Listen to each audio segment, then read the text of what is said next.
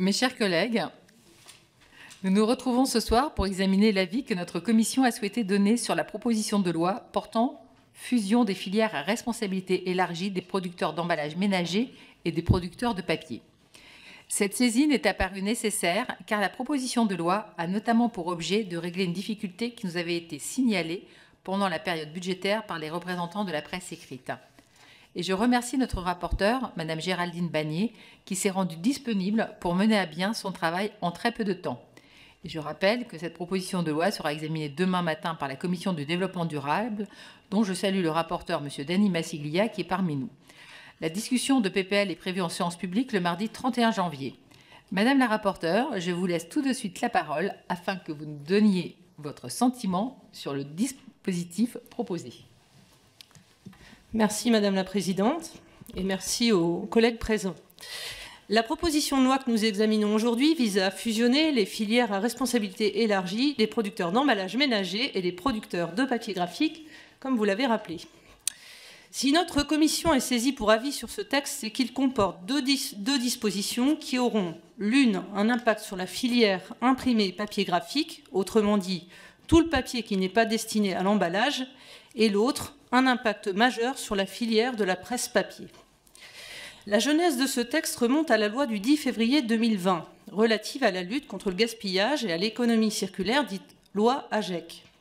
Ces grands axes visent à réduire notre production de gaz à effet de serre, à mieux organiser le tri et le recyclage de nos, de nos déchets et à responsabiliser les producteurs ou metteurs sur le marché, tous objectifs vertueux en matière d'environnement. Les producteurs doivent ainsi s'acquitter de leurs obligations en mettant en place collectivement des éco-organismes agréés dont ils assurent la gouvernance, auxquels ils transfèrent leurs obligations par le versement d'une contribution financière. Dans le cas du recyclage de l'emballage et du recyclage du papier, c'est l'éco-organisme Citeo qui, depuis 2017, vise à renforcer la compétitivité des filières de collecte et de recyclage des emballages ménagers et des papiers. Au demeurant, aujourd'hui, sur une grande partie de notre territoire, les poubelles et containers à déchets, les bacs jaunes, sont déjà communs pour les déchets d'emballage et le papier à usage graphique.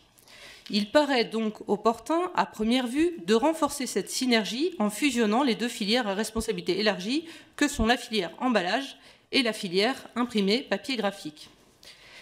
Les conséquences de cette fusion qui, de l'avis d'interlocuteurs auditionnés, réduirait nécessairement les coûts de structure, doivent cependant être bien évalués. De fait, cette fusion regrouperait une filière REP en bonne santé économique, très polluante et aux déchets excessivement nombreux, la filière REP emballage, avec une filière REP imprimé papier graphique, fragilisée depuis de nombreuses années et plutôt vertueuse en matière environnementale. Ces acteurs n'ont d'ailleurs pas manqué, lors de nos auditions, d'attirer l'attention du législateur sur leur situation. Ainsi, Copacel, l'Union française des industries, des cartons, papier et cellulose, se montre assez réticente à cette fusion. D'abord parce qu'elle unifiera deux cahiers des charges bien distincts, ce qui créera un cahier des charges sans doute plus dense et plus complexe. Ensuite, parce que dans cette filière unifiée, elle ne pèsera que 10% des déchets produits face à la filière emballage. Elle ne pèse déjà que 120 millions d'euros contre 1 milliard d'euros pour le papier d'emballage. Autrement dit, elle sera de faible poids face à une filière en pleine expansion. Enfin, l'une des réticences des acteurs de la filière papier graphique porte sur la fin, prévisible selon elle, du taux d'acquittement dont elle bénéficie jusqu'à présent. Ce taux d'acquittement représente le rapport entre les tonnages de déchets de papier graphique qui s'acquittent de leur contribution et l'ensemble des papiers graphiques assujettis à la filière REP. Ce taux d'acquittement déduit le pourcentage des assujettis qui ne remplissent pas leurs obligations, c'est-à-dire ce qu'on appelle les free riders ou passagers clandestins, c'est-à-dire la masse de déchets papier d'origine étrangère et inconnue, ainsi que ceux qui sont, en sont exonérés, exonérés soit un total de 13,5%. Concrètement, la prise en compte de ce taux d'acquittement représentait une aide financière substantielle pour la filière papier imprimé, euh, imprimé papier graphique. Il faut toutefois rappeler également que ce qui était une aide pour elle était nécessairement perçu par les collectivités locales en charge de la gestion des déchets comme une charge financière supplémentaire. En effet, les collectivités prenaient à leur charge la collecte, le tri et le recyclage de ces papiers dont les émetteurs ne payaient pas d'éco-distribution. Contribution. Un scénario probable, qui peut-être répondra aux acteurs de la filière papier graphique et des collectivités locales, c'est qu'à terme, la filière emballage puisse compenser ce manque à gagner venu de la filière imprimée papier graphique en l'aidant à supporter financièrement ses coûts, puisque cette filière bénéficie à contrario d'une hausse forte et constante de son chiffre d'affaires. L'éco-organisme Citeo pourrait aussi supporter ses coûts liés aux freeriders en lieu et place des collectivités locales. Voilà pour le premier volet de la proposition de loi. Le deuxième volet, très important de cette proposition de loi, porte sur la situation de la presse et sur son exemption de cette nouvelle filière fusionnée, conditionnée à la mise à disposition d'encarts dédiés au thème de la transition écologique. Il est évident, d'un point de vue principiel, que la presse papier ne peut être regardée comme un simple déchet. La presse est un produit potentiellement jetable mais sa vocation n'est pas d'être immédiatement mise aux ordures comme un carton d'emballage ou un emballage plastique. Et comme la filière imprimée papier graphique, c'est presque devenu une banalité de le rappeler, la presse est devenue un acteur économique fragile. Aujourd'hui, en France, nous ne disposons plus que d'un seul site de production de papier presse, l'usine de Golbet dans les Vosges, qui fabrique de la pâte de papier récupérée, de la pâte de bois et du papier. Concernant la fabrication du papier, j'attire votre attention sur le fait que de nombreuses contre-vérités continuent de circuler, parfois proférées par des acteurs, très influents. Non, on n'abat pas des forêts entières pour éditer nos journaux ou nos livres. Que ce soit pour l'édition ou la presse, le papier est constitué de 75% de papier recyclé et de 25% de fibres nouvelles. Ces 25% de fibres nouvelles, prélevées sur des chutes de Syrie, sont nécessaires pour atteindre une certaine blancheur et une certaine qualité du papier et permettre ensuite son recyclage. Seuls certains quotidiens sont fabriqués en papier intégralement recyclé.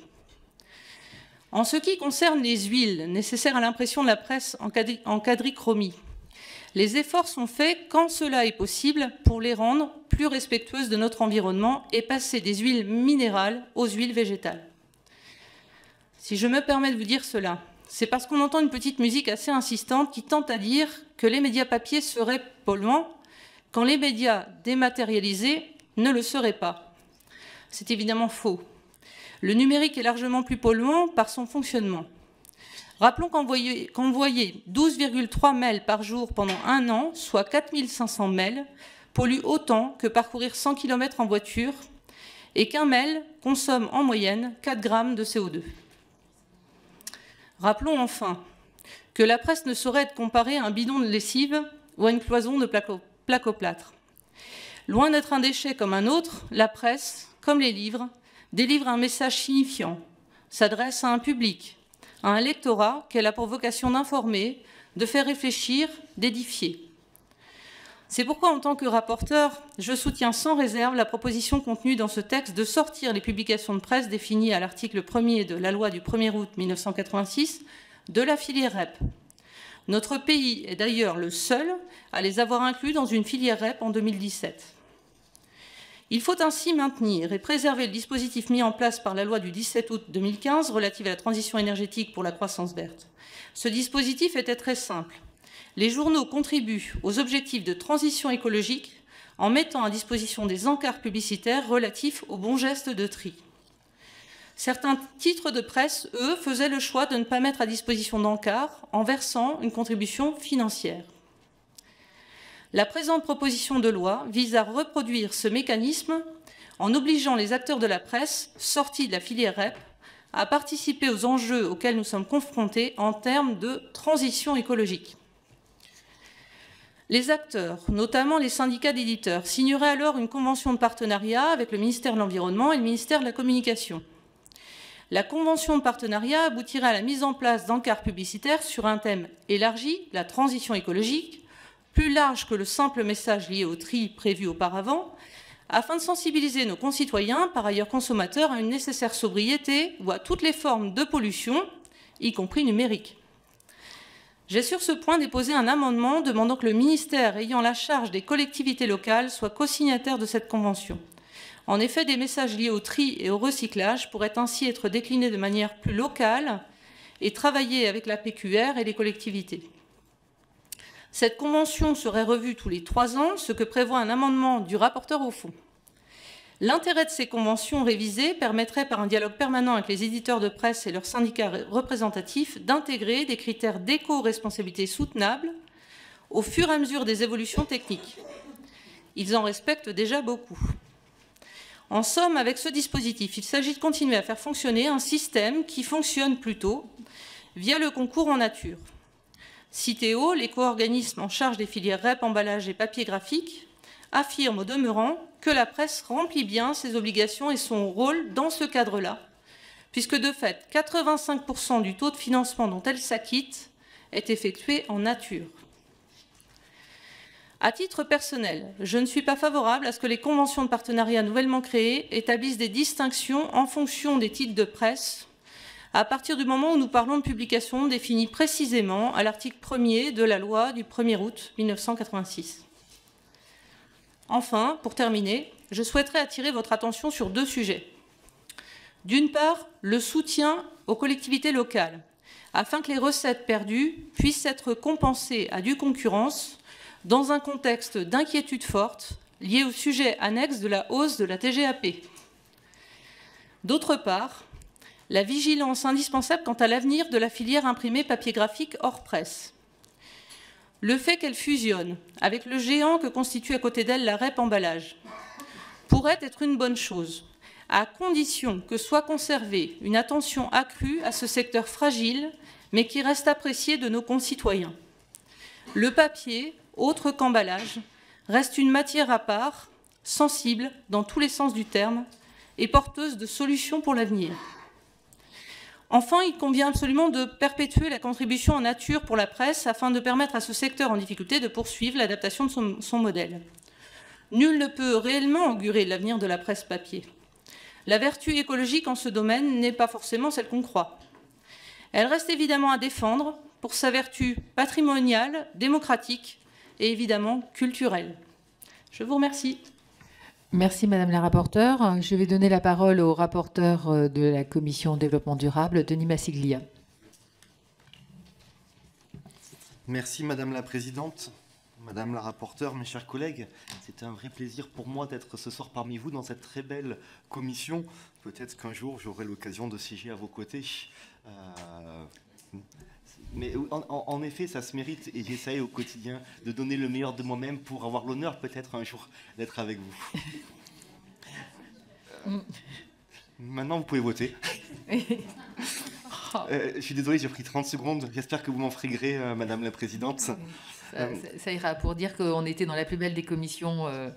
je, je vous accorde ces 30 secondes. D'accord, 40 maintenant. la presse est aujourd'hui dans une situation très critique. Euh, elle souffre de difficultés conjoncturelles majeures qui viennent s'ajouter aux fragilités malheureusement importantes structurelles du secteur. Le prix de la tonne de papier a doublé en un an pour atteindre 900 euros en 2022. Selon les estimations de la filière, la hausse du coût du papier pourrait représenter un manque à gagner de 60 millions d'euros. Si l'ensemble de la presse est touché à des degrés divers, la presse quotidienne régionale dont la pagination est importante, l'est particulièrement. À noter que la hausse du coût de l'énergie affecte également le coût de distribution, de transport et de fabrication de la presse. La presse numérique n'est pas, elle aussi, épargnée par l'augmentation des tarifs des hébergeurs. L'augmentation des prix des quotidiens et périodiques ne peut à elle seule absorber l'augmentation du prix du papier. Elle risquerait d'accélérer encore plus la décrue des ventes au regard de la forte élasticité prix des ventes de la presse papier. Si on peut considérer que cette hausse des coûts qui affecte en premier lieu la presse papier ne fait qu'accélérer un mouvement inexorable de bascule totale vers le numérique, il convient de rappeler que certains titres, notamment des magazines, reposent sur une qualité de pagination qui rend peu pertinent tout basculement vers le numérique. Par ailleurs, la monétisation de la presse numérique reste difficile malgré une augmentation du volume global d'abonnements constaté. En somme, si les éditeurs parviennent à absorber une part de la hausse de ces coûts, au travers d'ailleurs notamment de l'augmentation des prix et d'une réduction de la pagination déjà mise en œuvre pour une majorité d'éditeurs, le risque de déstabilisation pour tout le secteur est réel. Il suffit de regarder ce qui se passe par exemple en Nouvelle-Calédonie. En parallèle, il convient de rappeler que la presse est depuis 2017 inclue dans la filière à responsabilité élargie des producteurs des papiers graphiques. Toutefois, étant considérée comme un secteur particulièrement sensible au même titre que les livres, la presse bénéficiait d'une dérogation lui permettant de contribuer à sa filière sous la forme de prestations en nature, via la mise à disposition d'encarts publicitaires destinés à informer le consommateur sur la nécessité de favoriser le geste de tri et le recyclage du papier. La très bonne loi AGEC de 2020 a mis un terme à ce régime dérogatoire, disposant qu'à compter du 1er janvier 2023, les coûts-contributions de la presse doivent être en numéraire. La charge que représente ce financement direct pour la presse est estimée entre 15 et 22 millions d'euros. Ce texte propose ainsi d'exempter la presse de la filière REP des papiers graphiques, à la condition que soit mise en œuvre une convention de partenariat avec l'État, convention l'engageant à mettre à disposition gratuitement des encarts destinés à communiquer auprès des lecteurs sur la transition écologique. Cela représente un élargissement, des messages qui ont été diffusés depuis de nombreuses années.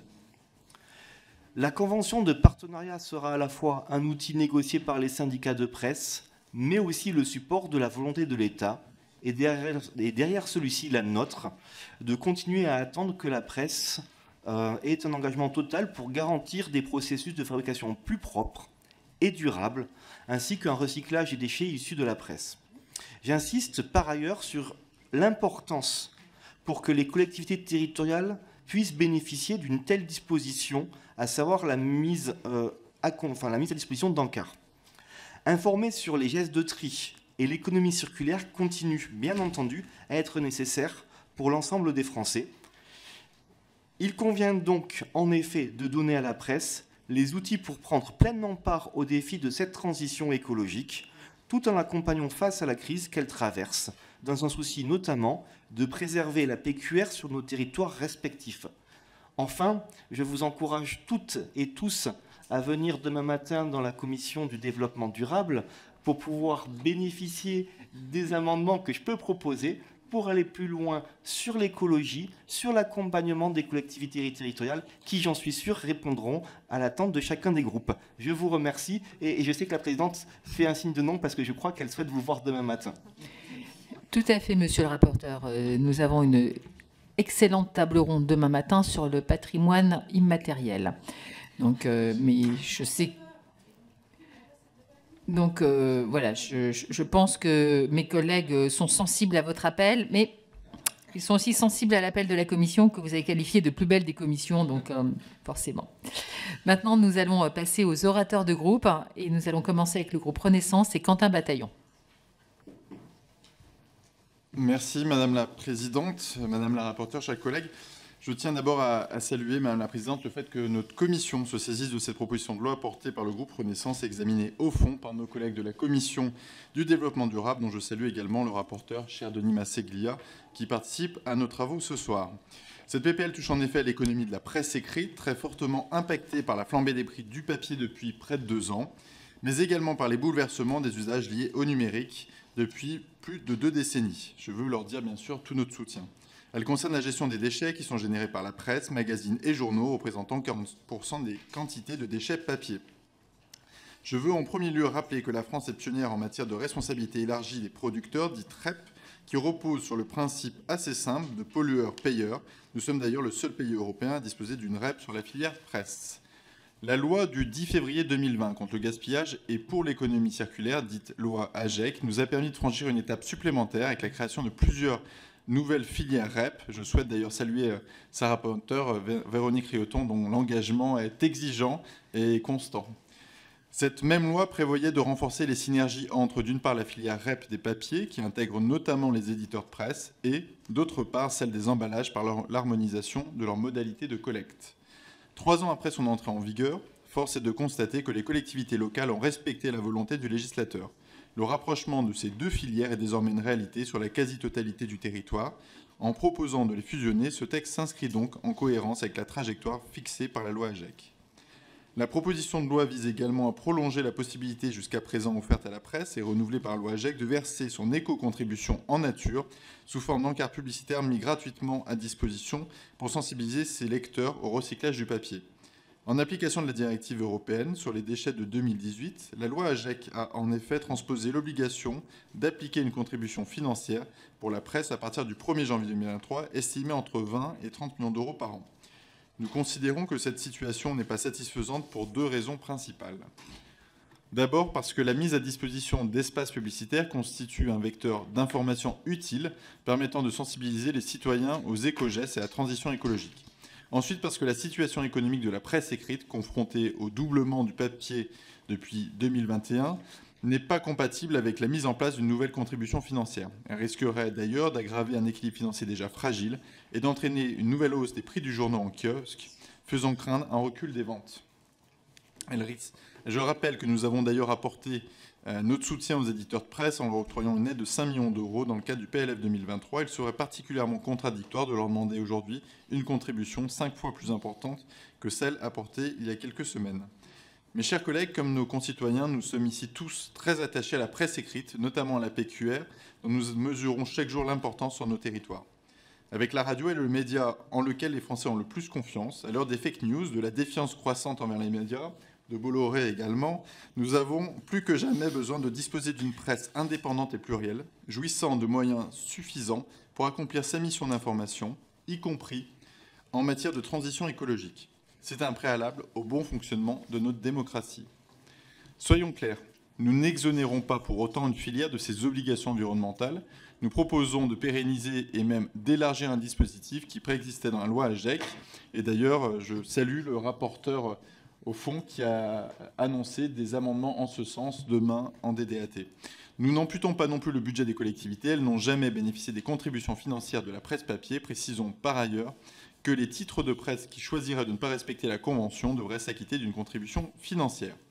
Pour terminer, je tiens à saluer bien sûr le travail de Mme la rapporteure, chère Géraldine Bagnier, et confirmer que le groupe Renaissance votera en faveur de cette proposition de loi. Je vous remercie. Merci, monsieur le député. Pour le Rassemblement national, Sophie Blanc. Madame la présidente, madame le rapporteur, mes chers collègues, cette proposition de loi portant fusion des filières à responsabilité élargie des producteurs d'emballage ménager et des producteurs de papier est présentée sous la forme d'un texte technique qui tend à harmoniser deux filières de recyclage, celle des emballages ménagers et celle du papier de presse. Sont prévus à peu près 850 millions d'euros de contributions par la filière emballage au titre de la responsabilité élargie des producteurs et sont prévus à peine 80 millions d'euros de contributions par la filière papier au titre de la même euh, responsabilité élargie des producteurs, dont 14 millions en contribution en nature. Les deux filières ne font pas la même taille, n'ont pas le même poids et surtout n'ont pas la même trajectoire ni la même dynamique. Portée par l'augmentation du commerce en ligne et la disparition du plastique au profit du carton, la filière emballage est sur une courbe ascendante. La filière papier, elle est en pleine mutation et elle est dans une courbe descendante causée par la multiplicité des canaux d'information, une digitalisation importante de notre société et par conséquent la désaffection des Français pour le format papier. À cette équation, il faut rajouter une somme de quelques 10 milliards d'euros payés par les collectivités territoriales, soit 150 euros par habitant pour le traitement et le recyclage des déchets. Le système de recyclage est arrivé à la fin d'un cycle de vie. Celui-ci doit être repensé afin d'arrêter l'aberration plus on trie, plus on paye. Système qui pèse sur les contribuables et dont il leur est facile de dire que le principe pollueur-payeur n'est pas une réalité concrète. Alors, quel est l'enjeu de cette proposition de loi? Pour le groupe Rassemblement national, il y en a deux. La première, c'est faire passer à la filière papier, à la date couperée du 1er janvier 2023, la contribution en nature en contribution financière. En effet, il était demandé à la presse des efforts relatifs à la transition écologique de la filière. Euh, je citerai divers exemples incorporation de fibres recyclées dans le papier de ses publications, non-utilisation d'éléments perturbateurs du recyclage, ou encore distance maximale 1500 km entre l'imprimerie, la papeterie fournissant de papier et le centre principal de diffusion de la publication, en contrepartie de mise à la disposition par la presse d'encarts publicitaires relatifs au bon geste du tri. Et la seconde, bien plus générale, qui tend à répondre à la question de la pérennité financière de la filière presse-papier en donnant à celle-ci une béquille supplémentaire pour faire face à un business model structurellement déficitaire. La vraie problématique est celle de la survie économique de la presse papier. Dans un monde de plus en plus dématérialisé, le journal papier, héritier d'un mode d'information qui ne connaissait ni la dématérialisation, ni le multicanal, le journal, ne trouve plus de modèle économique pérenne, fiable et permettant des éditions à la ligne éditoriale libre, garantie par un modèle économique pérenne.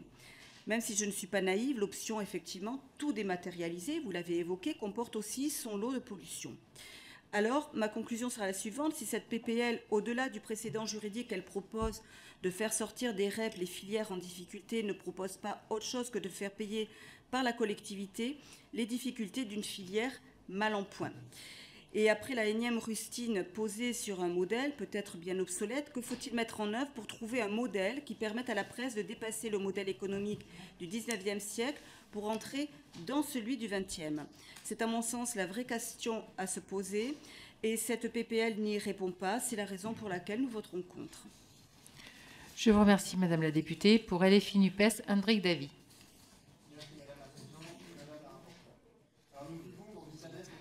De, euh, euh, voilà, c'est bon. Nous vivons dans une planète aux ressources naturelles finies. Puisque nous sommes en commission éducation et affaires culturelles, je pense qu'il est important que nous insistions sur la nécessité de former nos concitoyens au fondement de l'écologie scientifique et aux sciences de l'environnement. Or, le système économique qui régit nos activités, hélas, ne suit pas ces enseignements. Il nous pousse à produire et à consommer toujours plus pour que certains puissent s'enrichir sans aucune limite. Or, dans un monde fini, cette spirale infernale du productivisme et du consumérisme n'est pas durable. Alors, évidemment, il est toujours mieux de recycler une partie de nos déchets produits par cette société de consommation. Et nous progressons en ce sens, puisque 72% de nos emballages sont recyclés. Mais le recyclage aussi produit des gaz à effet de serre et demande de l'énergie. Et ces avancées ne doivent pas masquer l'absence de progrès concernant la baisse du volume des ordures ménagères. En effet, les ménages français produisent 39 millions de tonnes de déchets par an contre 36 millions en 2005. Chaque Français peut se rendre compte de la multiplication des emballages, notamment pour des raisons de marketing ou de packaging. Nos sacs de tri ne désemplissent pas, au contraire. Le consommateur a un peu l'impression de remplir sans fin le tonneau des Danaïdes. Pire, le déchet devient une marchandise comme les autres et des sources de profit pour certains. Dans ce contexte, cette proposition de loi vise d'une part à fusionner les filières à responsabilité élargie des producteurs d'emballage ménager et des producteurs de papier et à conserver l'exemption pour le secteur de la presse afin qu'il contribue en nature à la filière à REP et non financièrement. L'idée que nous résoudrons, par le marché le recyclage, le pillage des ressources naturelles et la pollution qu'elle engendre a prévalu depuis plus de 30 ans. Le principe du pollueur-payeur s'inscrit dans cette logique. Ce principe montre ici ses limites. Cette PPL ne porte pas de vision de réduction des déchets, ni de remise en cause du modèle de surproduction et de surconsommation. Comme les déchets sont valorisés, ces déchets ne constitueraient plus un problème écologique, mais bien en, réalité une manne financière.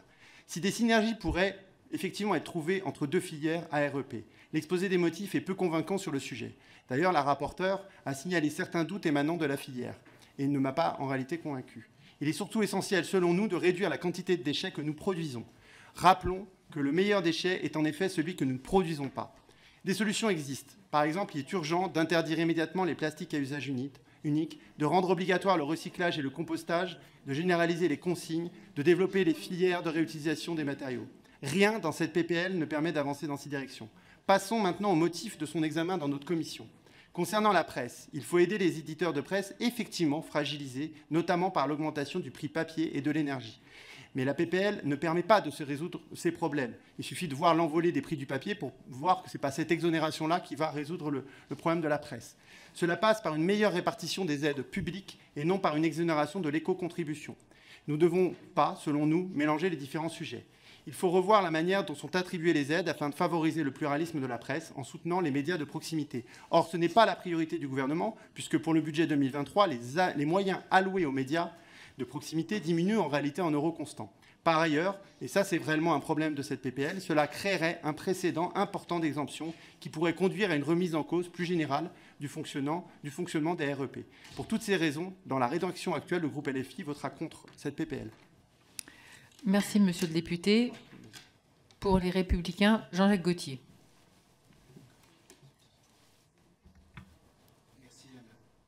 Il faut, ah, voilà. Merci Madame la Présidente. Il y a, deux aspects sur cette, euh, PPL. Il y a d'abord la situation de la presse et, du livre au regard du droit européen, qui ne sont pas obligatoirement soumis au régime de la responsabilité élargie des producteurs. Le livre a toujours été exonéré. La presse euh, est soumise depuis 2017 au régime de la REP, contribue euh, en partie sous forme financière et en partie en, nature sous forme d'encart publicitaire. Le groupe Les Républicains est, favorable à cette situation spécifique parce qu'un livre de Victor Hugo ou un, ou un journal, ce n'est pas tout à fait comme un emballage ou, du carton. Mais aussi parce que la situation économique euh, de, la presse euh, est très difficile. C'est une crise sans, précédent. Un nombre de lecteurs qui, baisse considérablement en raison de la concurrence numérique. Euh, le prix du papier qui a doublé en un an, ça, a été rappelé. Et les recettes publicitaires qui ont été divisées par deux en, 10 ans. Donc ça, c'était pour la situation de, la presse. Mais il ne faut pas oublier la situation de la filière euh, papier graphique. La fusion des deux filières serait une véritable catastrophe pour la filière papier graphique. Aujourd'hui, vous l'avez dit, Madame la rapporteure, la, dernière usine euh, française se situe dans les Vosges. Je la, connais bien. Euh, je rappellerai qu'il y a six usines qui ont fermé ces dernières années et que le tonnage a été divisé par deux. Non seulement c'est la dernière usine en France, mais c'est même la dernière machine de France qui fournit le papier journal pour, tous les journaux de France. Donc, je souhaiterais qu'on ne la fragilise pas. Euh, c'est vraiment le dernier des, Mohicans. Je vous incite vraiment à, prendre contact d'ailleurs avec les responsables. C'est étonnant qu'on propose des solutions sans même euh, avoir interpellé les responsables de la dernière usine en France, avec la dernière machine en France, qui m'ont fait part de leur très grande inquiétude par rapport à, ce sujet. Euh, ils connaissent dès, à présent des difficultés d'approvisionnement. Aujourd'hui, ils vont chercher le papier en Espagne, aux États-Unis, au Canada. Et, pour le coup, en matière euh, d'écologie, euh, c'est dix fois plus de CO2 que quand on allait chercher le papier euh, en, France. Donc, difficulté d'approvisionnement en matière première, risque de, vraiment de déséquilibre de cette filière et risque de désindustrialisation. On ne peut pas pleurer tous les jours en disant euh, il y a un risque de désindustrialisation en France et, mettre en péril cette dernière machine, cette dernière usine qui, fabrique tout le papier journal euh, pour, pour tout le pays. C'est pour ça euh, que le groupe LR est vraiment hostile à cette fusion des deux filières et ne peut pas, en l'état, voter cette proposition de loi. Je vous remercie, monsieur le député. Pour les démocrates, Laurent Esquenégox. Merci Madame la Présidente. Madame la rapporteure, chère Géraldine, ce texte semble tout d'abord technique. De second abord, il, le reste. Il n'en demeure pas moins indispensable. Sans cette proposition de loi d'Enima Seguelia, nous renforcerions le mal-être d'un secteur déjà convalescent. Je parle bien sûr de la presse, a fortiori du papier, dont la mauvaise santé n'est plus à démontrer. Depuis 2010, le nombre d'exemplaires de journaux imprimés a été divisé par deux. Les éditeurs de presse ont vu leur chiffre d'affaires baisser de plus de 40%. Derrière ces chiffres, il y a bien sûr des hommes et des femmes, des emplois, mais aussi la démocratie. Car sans un accès à l'information pour tous, y compris ceux qui ne sont pas coutumiers d'Internet ou ceux qui se réjouissent de sentir le papier entre leurs doigts, dont je suis, la liberté de la presse tangue, et avec elle la légitimité même de notre institution.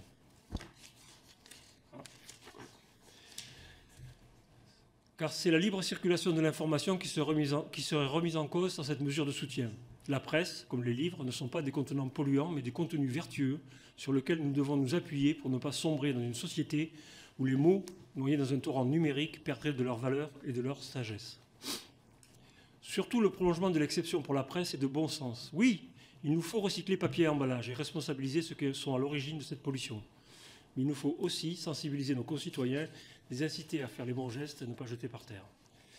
Notre groupe est donc attaché à la mise à disposition d'encarts publicitaires qui doivent encourager le tri et l'ensemble des gestes écologiques. Avec cette exception, les collectivités, perdront des revenus directs, mais récolteront sur le plus long terme des fruits bien plus riches de cette sensibilisation écologique. Nous devons les encourager à utiliser cet outil pour promouvoir des actions concrètes, leurs actions concrètes au service de l'environnement.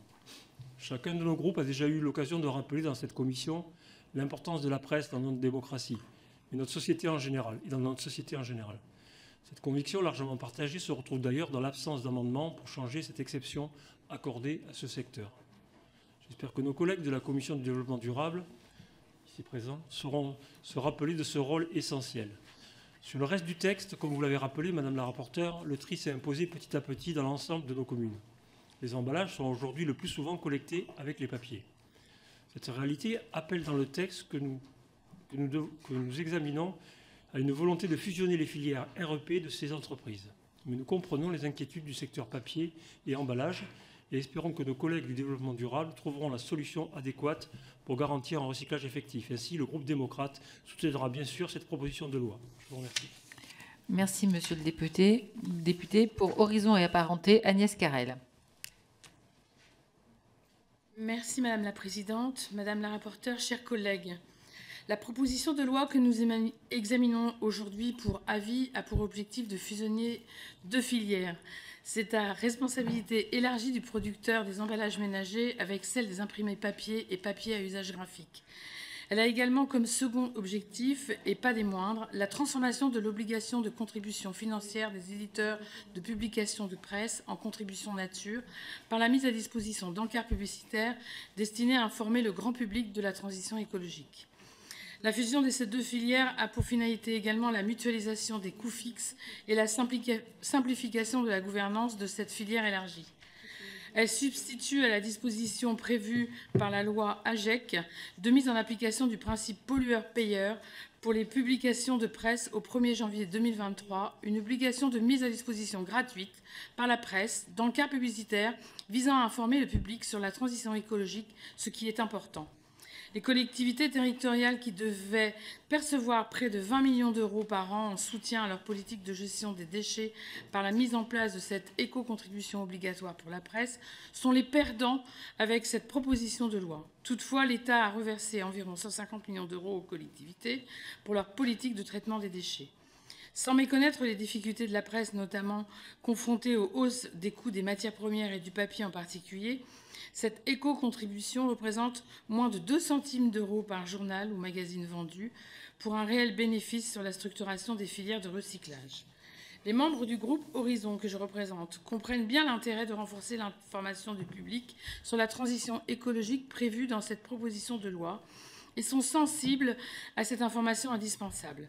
Nous sommes également très attachés au principe pollueur-payeur, dont l'efficacité est démontrée dans la réduction des déchets et l'amélioration de leur traitement. Aussi, nous restons très vigilants sur l'évolution législative proposée dans cette proposition de loi.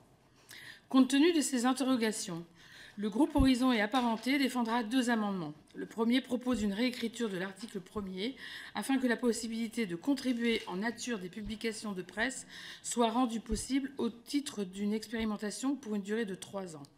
À terme de ces trois ans, le gouvernement remet un rapport au Parlement qui évalue les impacts de celle-ci, et en particulier les impacts et la pertinence de l'exemption de contributions financières pour les publications de presse, ainsi que les impacts de la contribution en nature du secteur de la presse. Le rapport doit évaluer l'opportunité d'étendre au secteur de la presse l'obligation d'éco-contribution. Le second amendement est un amendement de repli qui ne prévoit que le seul rapport. Bien que soumettant ces réserves qui seront formulées et proposées par voie d'amendement en commission du développement durable et de l'aménagement du territoire, le groupe Horizon et apparenté, apparenté excusez-moi, votera ce texte.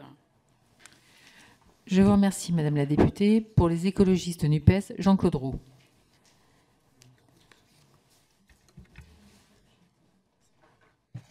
Merci Madame la Présidente, Madame la rapporteure, chers collègues nous voyons que la fusion qui nous est présentée unit deux filières qui n'ont ni les mêmes caractéristiques, ni les mêmes volumes, ni les mêmes enjeux. Nous voyons aussi que les ambitions affichées de cette proposition de loi sont doubles, à la fois simplifier et rationaliser et ne pas mettre en péril la survie de la presse. Nous sommes bien sûr très conscients des difficultés de ce secteur et devons continuer de nous en soucier puisque la bonne santé et la multiplicité de la presse est une des garantes de sa pluralité et des libertés propres à toute démocratie. Nous le savons, la hausse du prix du papier comme la baisse des ventes ont impacté durablement la presse écrite. J'ai d'ailleurs, comme beaucoup d'autres, j'imagine, reçu un courrier m'invitant au soutien de cette proposition au nom de la fragilisation de la PQR. Pour autant, si le gouvernement doit apporter son soutien aux éditeurs, ce dernier ne doit pas se faire au détriment de ses ambitions écologiques. Car il y a peut-être d'autres moyens pour l'État de garantir plus directement les aides à la presse en les conditionnant à des critères environnementaux. Nous espérons d'ailleurs que les États généraux de l'information se saisiront pleinement de la question et apporteront des solutions concrètes, efficaces et surtout pérennes, ce qui n'a manifestement pas été le cas jusqu'à présent. Il est respectable de vouloir simplifier les filières et limiter les coûts fixes. Néanmoins, comme souvent en ce moment, et je pense notamment au projet de loi d'accélération des énergies renouvelables, il nous semble parfois qu'on utilise le prétexte de la simplification pour détricoter des acquis écologiques. Or, ce texte n'est pas compatible avec l'effort collectif que nous devons faire pour être à la hauteur de nos ambitions écologiques. Voter un tel texte, c'est envoyer un mauvais signal à l'ensemble des secteurs. On peut revenir en arrière.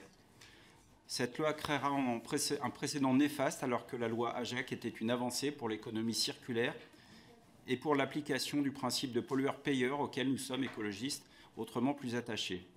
Voter ce texte en l'état, c'est aussi dire à l'ensemble des acteurs économiques, si vous êtes en difficulté financière, vous êtes exempt du financement de vos déchets et n'êtes pas obligé de respecter vos objectifs de recyclage.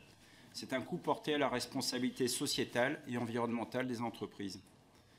L'avantage évalué à 20 millions dont bénéficiait le secteur de la presse de contribution en nature exigeait que certaines conditions soient remplies.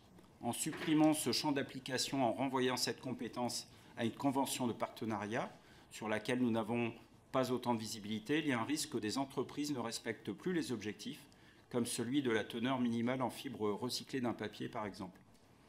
Notons aussi que la proposition de loi serait rétroactive, ce qui n'est pas sans poser des difficultés juridiques et opérationnelles. La contrepartie de mise à disposition d'espaces publicitaires, d'information et de sensibilisation au tri, au recyclage, ne peut équivaloir aux obligations réellement éco-responsables. Enfin, le groupe écologie s'inquiète au même titre que au même titre que les intercommunalités de France, excusez-moi, du risque que ce texte fait peser sur les finances des collectivités territoriales. En effet, il viendrait supprimer les 3 millions d'euros de contributions numéraires touchées par les collectivités et les syndicats de collecte et de traitement des déchets, et même créerait un manque à gagner à hauteur de 17 millions en 2023, alors que les coûts de gestion des déchets vont non seulement persister, mais également s'accroître. Ces mêmes collectivités qui, rappelons-le, souffrent déjà de l'inflation et de la suppression de la CVAE. Et in fine, nous savons tous que c'est l'usager qui paiera toujours plus cher le coût du traitement des déchets que notre société et que nous-mêmes produisons. Vous avez, Madame la rapporteure, évoqué la, la trajectoire de la TGAP. Pour ces raisons, en s'appuyant sur l'expertise de la société civile et sans amélioration du texte, le groupe écologiste ne pourra pas voter pour. Je vous remercie, Monsieur le député. Pour GDR NUPES, Stéphane Peu. Oui, merci Madame euh, la Présidente, Madame euh, la rapporteure. La presse euh, papier vit une crise structurelle, mais également une crise conjoncturelle. La hausse des coûts des matières premières constitue un point important pour les journaux déjà fortement affaiblis par la perte de lecteurs, la fermeture des points de vente, les difficultés de la distribution et bien sûr, j'ajoute l'inflation et également la pénurie de papier puisque dans la filière, il y a une absorption considérable et de plus en plus forte du papier existant pour les emballages carton, notamment liés au développement du e-commerce. Déroger au principe de la responsabilité élargie du producteur est extrêmement délicat car cela peut revenir à se soustraire à ses obligations financières en faveur de l'environnement. Seulement, dans le cas de la presse, comme c'est déjà le cas dans celui du livre, il nous faut concilier deux impératifs. Celui de la contribution des producteurs à la prise en charge et à la valorisation de leurs déchets, mais aussi celui de soutenir un secteur aussi fondamental que la presse, que le livre, que celui de la diffusion des idées, celui de la culture, bref, celui de la démocratie. C'est d'ailleurs pour cela que la presse, jusqu'en début d'année, pouvait contribuer en nature à ses obligations en termes d'écologie. La fin de cette exception entraînerait, selon un rapport sénatorial effectué dans le cadre de la loi de finances, une contribution de la presse à hauteur de 22 millions d'euros. Aussi, sortir les publications de presse et du livre de la filière, comme l'ensemble des pays européens le font, apparaît un dispositif beaucoup plus pertinent. Les députés du groupe GDR estiment, en l'état actuel du débat, que la solution trouvée par cette proposition de loi est donc pertinente. L'obligation de mise à disposition d'encarts pour l'information du public sur la transition écologique et non plus seulement sur le tri offre une amélioration et un équilibre à nos yeux nécessaires. Sous réserve, alors j'ajoute cependant que nous aurions aimé ouvrir le débat sur la possibilité de restreindre ce dispositif à la seule presse d'information politique et générale et non à l'ensemble des publications de presse au sens de l'article 1 de la loi de 1986. Je pense notamment à toute une série de, publications qui ne sont pas forcément corrélées à ce qu'on appelle euh, la, vie, la diffusion des idées et la vie démocratique. Mais euh, du point de vue de l'intérêt général justifiant ces exceptions, je pense que les, deux presses ne sont pas du même ressort. Cela étant, et sous réserve des travaux de la commission de développement durable qui se tiendra demain matin, et de la nécessité d'accompagner la presse et son secteur d'activité, notre groupe votera favorablement. Merci, monsieur le député. Pour le groupe Lyotte, Béatrice Descamps. Le, le micro. Merci. Merci. Excusez-moi.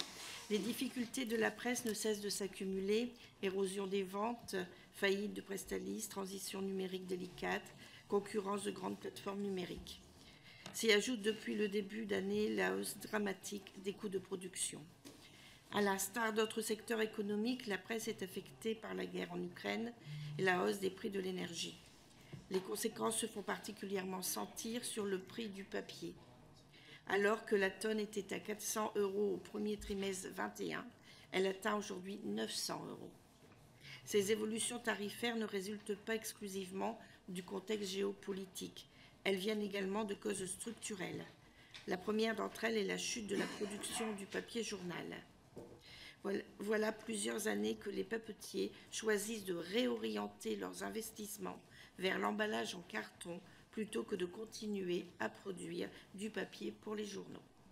Face à cette raréfaction et cette hausse du prix du papier, la presse nationale n'a d'autre choix que d'augmenter ses prix. Depuis janvier 2023, il faut débourser 20 centimes de plus pour acheter l'édition papier du Monde, des Échos ou du Figaro. Du côté de la presse quotidienne régionale, dont le modèle économique repose encore sur essentiellement les ventes on craint la suppression de postes. Pour la Voie du Nord, par exemple, ce sont des dizaines d'emplois qui seraient menacés. C'est toute une filière qui est ébranlée. C'est l'avenir de la presse écrite qui est bousculé. Et avec elle, c'est l'accès à une information, à un débat public de qualité qui pourrait être mis en cause. Cette proposition ne suffira pas à elle seule à rééquilibrer le modèle économique d'un secteur en crise. Ce n'est d'ailleurs pas sa vocation. Reste que ce texte nous permet d'aborder des sujets clés concernant l'approvisionnement en papier de la presse. Tout d'abord, selon l'auteur de la proposition de loi, la fusion entre les filières REP doit permettre de mieux prendre en compte les dynamiques d'évolution des tonnages de mise sur le marché des papiers et des cartons. Mais est-ce que cela permettra pour autant de préserver la production du papier? N'y a-t-il pas un risque, au contraire, de favoriser l'approvisionnement en faveur des emballages carton et papier au détriment du papier d'édition? Deuxième sujet faisant débat, celui de la fin de la participation financière de la presse à la collecte et au tri des déchets. Avec ce texte, sa seule obligation serait désormais la mise à disposition d'encarts publicitaires visant à informer le public sur la transition écologique. Nous partageons bien évidemment la volonté de soutenir les titres mis en danger par la hausse des prix. Nous nous interrogeons en revanche quant aux dispositions qui seront prises pour accompagner les collectivités territoriales. Elles ont investi dans des dispositifs de tri et elles ne recevront plus de contributions financières. Ce n'est pas à elles de payer le prix des difficultés de la presse à ce stade de l'examen, nous nous abstiendrons. Merci, Madame la députée. Madame la rapporteure, je vous laisse la parole. Alors, je vais reprendre. Donc, euh, je vais remercier Monsieur Bataillon et Monsieur Esquenet d'avoir pris euh, la défense de, la presse, d'avoir rappelé que c'était des secteurs en difficulté, puis que la presse était évidemment euh, au centre de notre démocratie. Donc, on est à peu près d'accord. Madame Blanc, Sophie, on, a, on était à peu près d'accord sur toute la ligne. Hein. Vous dites simplement à la fin que nous proposons de faire payer les collectivités. Bon, c'est pas tout à fait ce qu'on on pose la question de qui va, qui va payer effectivement, et de toute façon c'est un débat général. Donc qui, on améliore le tri, effectivement, il y, a, un coût supplémentaire pour nos concitoyens, on n'est pas sans ignorer ce fait, et effectivement il y, a une question qui se pose au niveau de, de qui prend en charge ce tri, c'est une question que nous nous posons tous, je crois. Euh, Monsieur Davy, vous prouvez par votre prise de parole qu'on a besoin d'encarts dans la, dans la presse, parce que vous avez parlé qu'il était très important de réduire la quantité de déchets. C'est exactement la vocation d'une REP hein, qui a pour vocation de, réduire dès la production, dès, l'origine, euh, la quantité de, déchets à la fin de la, la filière. Et donc, euh, il y aura des messages sur la transition écologique via les encarts qui sont dans la presse. Donc, vous prouvez finalement l'utilité de, cette loi. Euh, ensuite, euh, Monsieur Gauthier, merci nous, euh, nous alerter effectivement sur la difficulté d'accès en matières premières que peuvent rencontrer les, producteurs de, presse.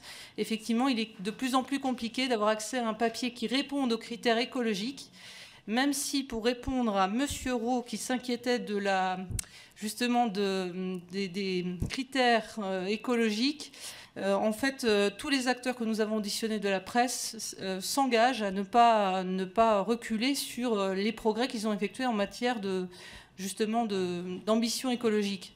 Ils, ne sont pas du tout ils ne veulent pas du tout reculer sur cette ambition-là, mais effectivement, peut se poser un problème d'accès à du papier qui répond aux critères écologiques. Voilà, je crois que j'ai à peu près fait le tour. Euh, qui d'autre encore, monsieur? Euh, Madame Descamps a souligné également le problème pour les collectivités territoriales. c'est un sujet qu'on a déjà eu, effectivement. Et puis, euh, je crois que c'est à peu près tout. Monsieur Peu Et Monsieur Peu était à peu près d'accord avec nous. ah oui, sur la, effectivement la distinction entre les titres de presse qui pourraient être opérés, c'est assez compliqué. Ça pourrait être créé en fait au niveau constitution une rupture d'égalité. Donc c'est très difficile à faire passer au niveau constitutionnel. Voilà. Je crois que j'ai fait le tour.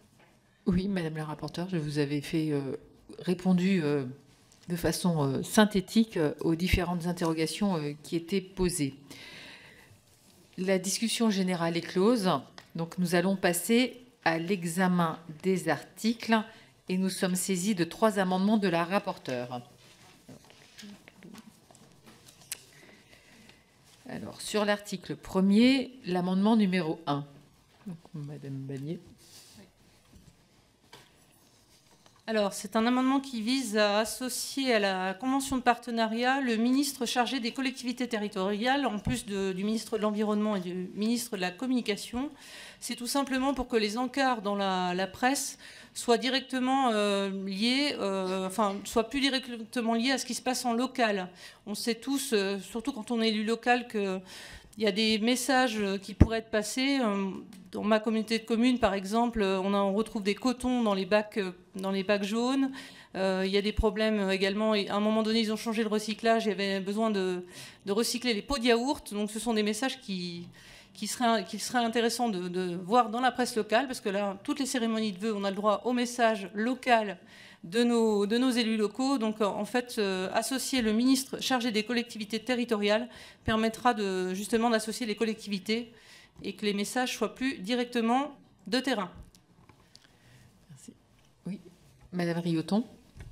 Oui, merci Madame la Présidente. Alors quelques mots, moi je voudrais dire quelques mots sur ce texte qui m'a évidemment euh, été interpellé euh, très rapidement sur euh, lié à mes responsabilités de, rapporteur de la loi AGEC. J'ai pu avec bienveillance, et je le remercie, Monsieur le rapporteur, participer aux, auditions et poser évidemment toutes mes questions. Alors comme vous vous en doutez, bien que je soutienne l'idée d'apporter des dispositifs qui aident la presse, a changé, a pérennisé son modèle économique. Madame la rapporteure, je ne peux accepter que ça se fasse au détriment de la REP en tant que rapporteur de la loi AGEC. Et c'est pour cela que je ne peux accepter que ce principe de cette PPL qui, sous couvert d'aide à un secteur en difficulté, finit par affaiblir le concept même de la responsabilité élargie des producteurs. Et je le dis au sens le plus littéral possible. Avec ces mesures, nous déresponsabilisons les entreprises de presse. Madame la députée, sur l'amendement de Madame la, rapporteure. responsabilité écologique et économique parce qu'elles ne sont pas préparées en temps et en heure à échéance du 1er janvier 2023. Je vous en prie, je suis en train de répondre à, cet amendement. Donc je le eh oui, mais c'était c'est une minute pour répondre à l'amendement. Donc là, vous avez dépassé le temps. Très bien, moi je reprendrai une minute par amendement puisque je vous remercie de votre ouverture à, répondre aux amendements. Merci Madame la Présidente. D'accord. Donc vous êtes pour ou vous êtes contre cet amendement? Absolument contre. D'accord. Monsieur Bataillon merci Madame la Présidente. Très rapidement, effectivement, il y a une vraie logique dans cet amendement, puisque ce sont les collectivités territoriales qui sont en charge euh, justement de financer et de gérer les organismes de collègues. Donc c'est tout à fait évident que le ministère qui les représente soit présent euh, à la table des décisions sur ces sujets-là. Donc merci Madame la rapporteure. Nous voterons en faveur de votre amendement. Merci. Donc je vais passer aux voix l'amendement. C'est un pour un contre, Monsieur le rapporteur. Donc euh, qui est pour cet amendement? Qui est contre L'amendement est adopté. L'amendement numéro 2, Madame la rapporteure. Alors, peut-être un amendement qui pourra répondre notamment aux arguments de Madame Rioton. Alors, il s'agit d'ajouter euh, une mention sur les conditions de la convention de partenariat en indiquant que ce sont des conditions notamment environnementales. Donc, ça fait écho évidemment aux cinq critères euh, auxquels doit répondre la presse pour l'instant euh, lorsqu'elle contribue sous forme euh, en nature. Donc pour préciser dans le texte de loi que ces critères seront repris dans la convention de partenariat, il est important de mentionner que ces conditions sont notamment environnementales. Merci Madame la rapporteure. Madame Rioton pour une minute. Oui, je vous remercie. Donc, je pense que les conventions ne sont pas la solution. En fait, euh, la, presse a besoin de rentrer dans la dynamique de la, contribution euh, REP et que ça n'est pas par des engagements volontaires. En tout cas, ça ne me semble pas très crédible. Je pense pour ma, part que permettre à la presse d'échapper à ces obligations euh, est, tout à fait injuste au regard des autres secteurs qui se sont préparer à la bascule numérique ou à la bascule de ce qu'il y a à faire en termes de, business économique et donc dispenser ce modèle économique de faire ces, transformations ne sont pas, euh, euh, en tout cas, euh, positives. Les différentes auditions qui ont été menées par M. Masseglia et Mme Bagnan ont été très instructives notamment euh, de la part d'Amorce, euh, alors qu'il semble que les éco-organismes qui ne fonctionnent, qui ne financent pas encore assez euh, la collecte et le, et le ramassage, est-il une bonne idée de réduire encore le financement de la presse vers ces éco-organismes et à destination des collectivités? Je ne le crois pas. L'inconvénient d'une proposition de loi, c'est qu'on n'a pas euh, d'études d'impact et donc il me paraît nécessaire de trouver d'autres dispositifs pour aider la presse qui pourraient être étudiés plutôt lors du, du Merci, projet de loi Madame la députée. Est-ce que quelqu'un veut s'exprimer pour cet amendement? Monsieur Masseglia. Merci Madame la Présidente. Et, euh, je ne peux pas voter, mais si je le faisais, si je le pouvais, je le ferais avec mes deux mains. Euh, en fait, cet amendement est très intéressant et il est une petite partie de ce qui va être proposé demain. Parce qu'en fait, tout le monde l'a dit, il faut qu'on accompagne la presse vers la transition écologique. Je rappelle, et, excusez-moi d'être assez brute, euh, le fait que euh, la presse rentre dans la REP, elle perd toutes les obligations écologiques qu'elle avait. Pourcentage de fibres recyclées, utilisation des encres, tout ça tombe, n'est plus d'actualité. Et en fait, demain, il y aura des amendements qui demandent à ce que la presse, d'une part, puisse communiquer de façon beaucoup plus large sur l'écologie, et d'autre part, avoir des contraintes, des exigences écologiques beaucoup plus poussées que ce qu'on peut avoir d'une part, et que de ce qu'il y avait jusqu'à présent d'autre part. Euh, enfin, je, réagis parce qu'il me reste plus que 10 secondes au propos de M. Rowe pour dire que M. Rowe, malheureusement, il y a euh, une erreur dans votre exposé. Je me permets de vous le dire parce que c'est important qu'on puisse avoir tous les éléments la presse a la possibilité de signer la convention. Si elle signe la convention, alors elle pourra bénéficier d'un paiement en nature. Si elle ne signe pas la convention, elle reste dans la REP elle ne sera pas exonérée de REP. Et ça, c'est extrêmement important de le dire. C'est-à-dire que finalement, on garde le système tel qu'il était jusqu'en 2022, mais en version plus mouse costaud, plus loin dans l'écologie, plus loin vers les collectivités territoriales. Il faut qu'on avance dans cela. Excusez-moi, Madame la Présidente, je suis Merci, Monsieur le rapporteur. Je vais mettre au voie cet amendement qui a reçu un avis favorable, qui est pour, qui est contre. L'amendement est adopté. Je vais mettre au voie l'article 1er ainsi modifié, qui est pour, qui est contre? L'article est adopté. Nous passons à l'amendement numéro 3 sur l'article 2. Madame Bagné. Oui, alors cette fois-ci, c'est un amendement technique qui prévoit une mise en conformité de l'agrément des éco-organismes avec, euh, avec cette, euh, cette, présente loi. Donc, euh, les agréments sont revus tous les six ans et donc la prochaine révision d'agrément, c'est en 2024. Et donc, cet amendement va simplement permettre que l'agrément soit en conformité avec la loi. Merci, Madame la rapporteure. Je vais mettre au voie cet amendement. Normalement, Monsieur Masseglia, oui, exceptionnellement prenez la parole, mais normalement on, était en train de passer au, vote. Je suis désolé, je ne suis pas habitué au dynamisme de la commission des affaires culturelles. Nous, on est un peu moins rapide dans la commission. Ah, ben c'est. Oui. Euh, juste pour revenir sur euh, l'éco-contribution et euh, finalement la signature d'un agrément, d'un accord. Demain, il y aura un amendement qui sera extrêmement précis sur la convention. La convention, elle sera signée pour trois ans et tous les trois ans, elle sera remise en discussion entre, d'une part, le gouvernement avec des échanges avec les collectivités territoriales, et d'autre part, les représentants de la presse. Et tous les trois ans, les critères, les obligations environnementales seront revus pour à chaque fois accompagner le plus loin possible la euh, filière de la presse, qui est aujourd'hui pas une filière en opposition avec l'écologie, mais une filière qui peut aider chacun et chacune d'entre nous à utiliser la communication pour amener toutes les Françaises et tous les Français vers les bons gestes de tri. Merci, monsieur le rapporteur. Madame Rioton. Merci Madame la Présidente. Alors lorsqu'on participe aux auditions, on se rend bien compte qu'en fait la presse, depuis 2006, n'a de cesse que d'essayer de s'extraire de cette obligation. Et donc euh, le fait d'être dans une dynamique de, de convention euh, ne permettra pas à la presse de rentrer dans sa transformation dont elle n'a pas fait la preuve. En fait, euh, cette loi a été euh, votée en 2020. Il y avait trois ans pour changer de business model.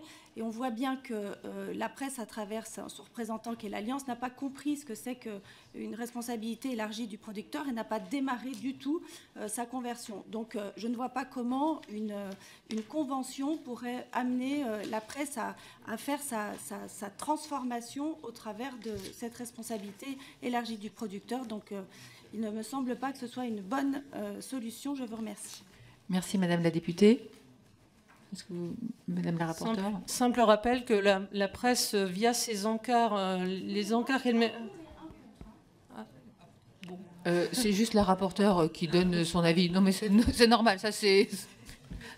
Voilà, c'est normal que la rapporteure puisse prendre la parole et euh, donne son avis sur. Oui, c'est tout à fait. Si, si. Non, mais voilà. Allez-y, Madame la rapporteure. Bah, je ne sais plus où j'en étais. Donc, euh, si, c'est dire que simplement la presse euh, met des encarts à disposition qui sont aussi des pertes aussi d'emplacement, hein, des publicitaires, etc. Donc, je crois qu'elle a quand même conscience de, ces, de l'engagement écologique qui doit être le sien, puisqu'elle répond à 85% à, à, à, cette demande. Donc, voilà. Merci, Madame la rapporteure. Je vais mettre au voie cet amendement qui a reçu un avis favorable. Qui est pour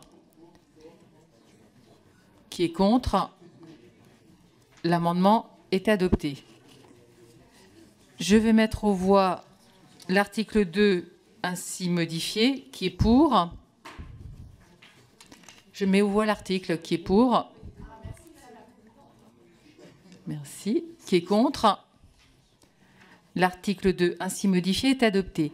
Je vais mettre au voie l'ensemble de la proposition de loi dont nous sommes saisis pour avis, donc euh, ainsi modifié, qui est pour, qui est contre. L'avis est adopté.